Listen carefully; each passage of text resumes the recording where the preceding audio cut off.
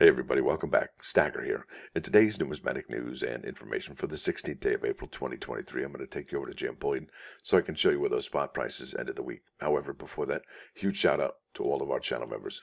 Really appreciate all y'all. Thank you very much.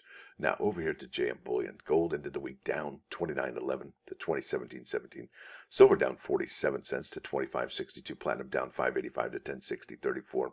Palladium was flat on Friday at 1558.17. But check it out. We're still above $1,500 for palladium, still above 1000 for platinum, above 25 for silver, and still above that 2000 mark for gold. So I think these are pretty hanging and pretty tough. Now, what's interesting is you can see that all of these items are still available here at JM Bullion.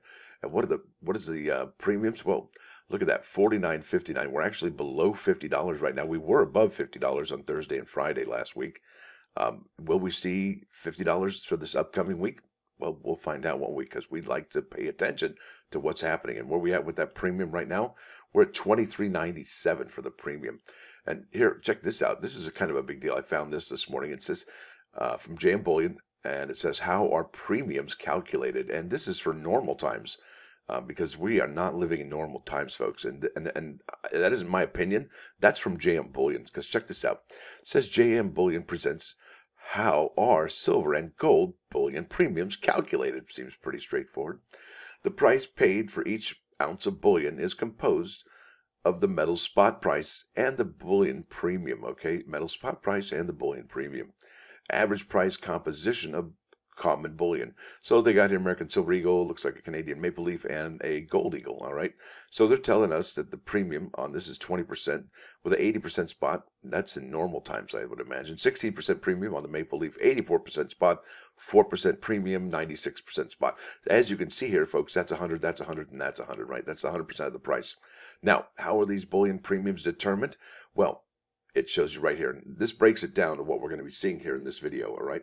What's the difference between premium and spot? Well, spot is the current price per ounce exchanged on global commodity markets. There's a silver ask for spot. Now, this is the bullion premium, and there are five here bullet points that they're going to be talking about. The additional price charged for a bullion product over its current spot price. That's what the premium is. The calculation for bullion premium depends on five key factors, folks. They are not lying here the current bullion market supply and demand factors. Okay, that's the first and foremost listed, right? The volume of bullion offered or bid upon, the bullion seller's objectives, the type of bullion products being sold, right?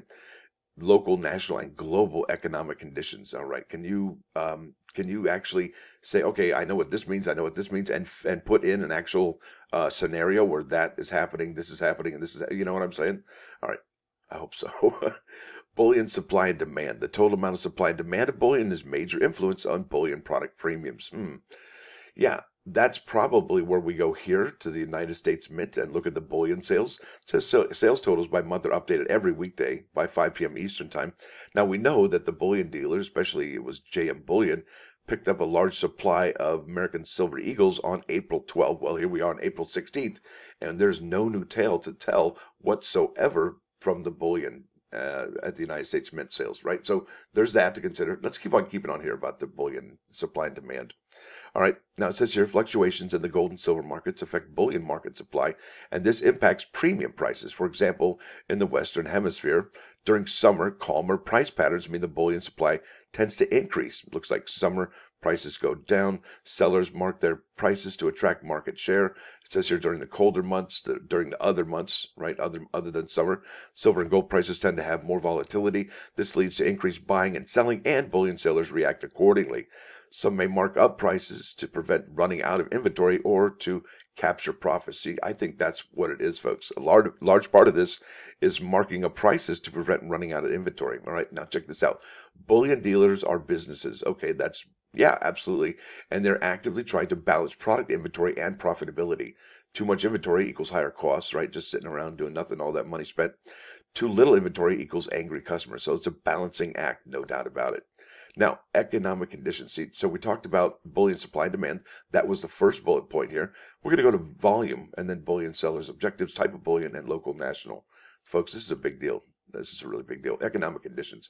Depending on their size and significance, market events can affect bullion premiums on either local or global levels. Now, what we saw when the beginning of this silver squeeze started in early March was the uh, looks like the SVB Bank could have started this uh, current rush on premium metals that we're seeing right now, right? So that's an economic condition. It says here in a small town with only one brick and mortar coin shop, the dealer may boost their premiums to guard against running out of inventory.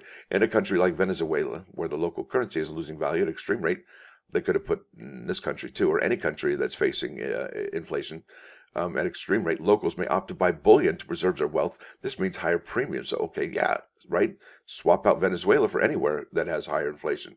At a global level, in the event of a large crisis similar to 2008 financial crisis, it is likely premiums would increase significantly as demand spikes and supplies diminish.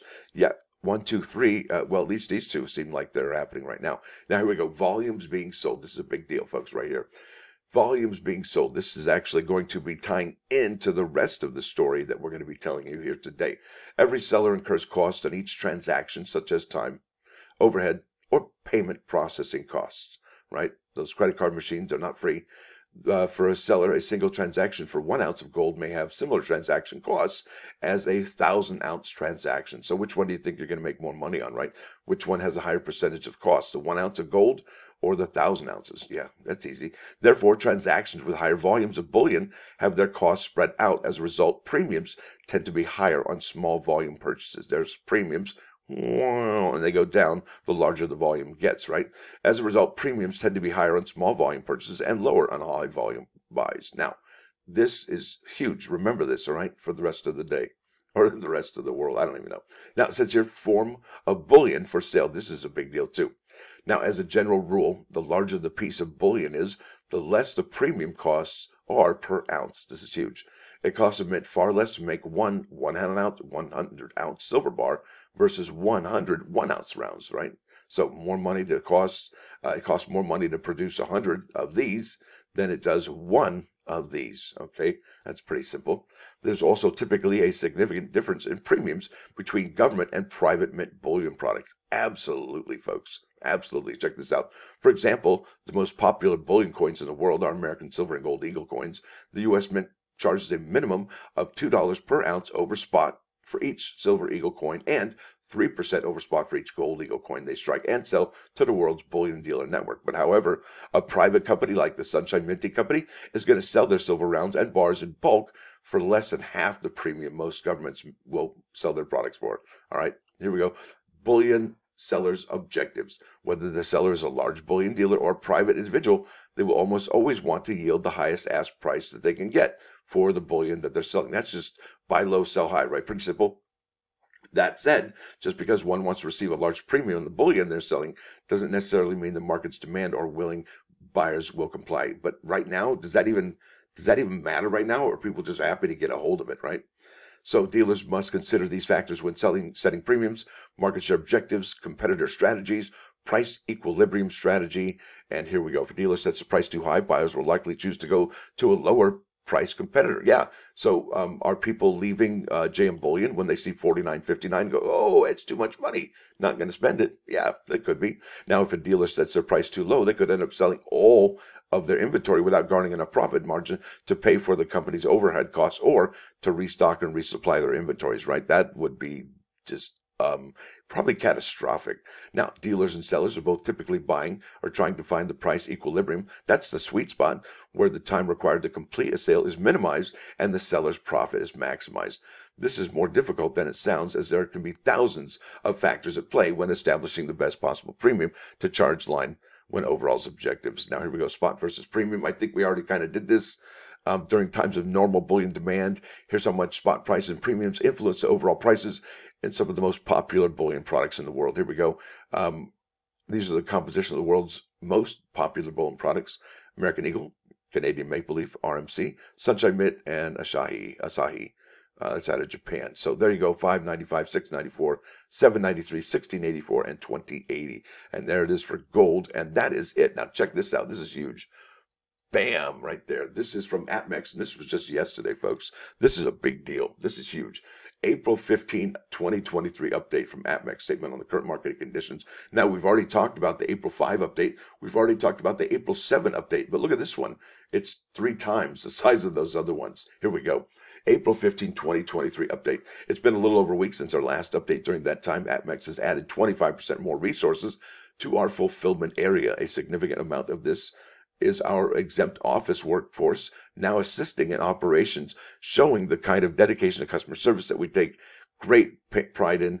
Um, and really, this is the meat and potatoes right here, folks. We're seeing overall progress in getting down the black backlog, which sits at three days behind our standard best in class service commitment. Unfortunately, or more like regrettably, because it's not luck, we are not catching up as fast as we would like and must make some additional difficult decisions. What? Yeah, they're not catching up. It's getting probably more. And look at the things they've done already. And they have to make additional changes. Oh my goodness. So effective today, that was just yesterday. They're going to go to a $500 order minimum in an effort to slow down order volumes further. I expect this will last seven to 10 more days in an effort to be more transparent. When we look at order volumes, our average daily orders for the last week for orders over $250 are actually up. Customers are simply migrating to a larger order rather than not placing a purchase. And that is what they wanted. They just wanted you to not place a purchase so they could catch up. Well, that's what they're doing. Could you imagine if you had a business and you're like, yeah, it's just so darn busy. Just come back later. Hmm. Yeah, I don't know. I don't know. How about take a number and have a seat? We appreciate the commitment to our customers to modify, while at the same time, we are not getting the relief needed to get back to traditional service levels. With a new minimum and the addition of new hires, I fully expect to be in business normal in the near future. I don't even know what that means. That's so ambiguous. That could be like next year. I don't even know. As I've said in previous updates, our business is all time highs for a six week period. Ooh, remember, early March. Uh, order counts have more than doubled on a weekly basis. We are used to market volatility, but not these kinds of levels. It's great to see the market realize the benefits of precious metals in their portfolio and believe increased demand is here to stay. APMEX is going to continue to make substantial investments in people, processes, and systems to maintain our best in class reputation. And it isn't just them, folks. Bam, check it out. SD Bullion, same story, business update on Friday. Over the past week, we've continued to address the backlogs of orders. All right, check this out uh, normal processing times of one to three business days. We expect to reach our goal within the next two weeks. All right, that's time frame. Therefore, at the beginning of next week, that's probably Monday or today, we'll be able to reduce the order minimum from 500 to 250 to allow us to resume serving as many customers as possible. So one is going up. The other one is going down. Isn't that interesting? And we could see this change again, right? So wow, we are into, into uh, some really interesting times in the silver world. And what does that make you feel like when the uh, bullion dealers uh, are changing from 500 to 250 or raising them actually to $500, you know, because they're just so inundated with business and so backlogged with getting things going. That is not a, I mean, that's just, that's not something where I think any of us are probably used to hearing. And um, in addition to that, it's it's probably why the American Silver Eagles and the Gold Eagles these are at such high premiums right now. Now off to the plus ones. Bam! This is Proverbs thirteen seven. It says here some pretend to be rich and have nothing, but others act poor and have great wealth. And I think what that means, and I think we've all seen it here. Um, and and both types of these people are really not to be followed, you know, because one is spending what little money they have to pretend to be rich, and, you know, soon they're going to be impoverished by that own like spending habit, right? Just trying to be flashy or, you know, trying to show off. While the other won't really fulfill their obligation to give to the poor and the needy. That's that's a bummer in the summer right there. Now let's head over here to three nines fine ninety nine point nine. This is the O'Jays for the love of money. You know the song. It's good stuff. Now, there it is, folks. I want to thank you all for watching. Thanks for dropping by. Don't forget to hit that like button. And if you do like what you're to see, please subscribe to the channel. It's free. Stacker out.